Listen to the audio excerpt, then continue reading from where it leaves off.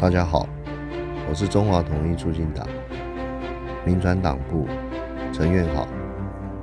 台湾现在疫情非常严峻，短短的时间，本土疫情爆发，染疫确诊人数已破万人，死亡人数超过五百多人。为了百姓生命财产安全，统驻党为民请命，统驻党党员每天到卫福部。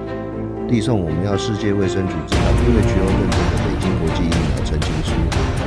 当今政客不要有意识形态，人命关天，疫苗优先，尽快接受大陆同胞爱心捐赠的世界卫生组织 WHO 认证的北京国药疫苗，人民尽快接种疫苗，保障人民生命财产的安全。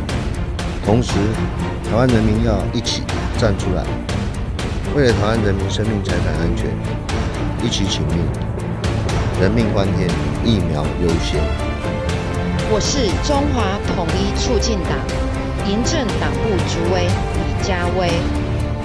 生命至上，疫苗优先。北京国药及科兴疫苗是通过世界卫生组织认可的，大陆现在愿意无偿提供给台湾人民。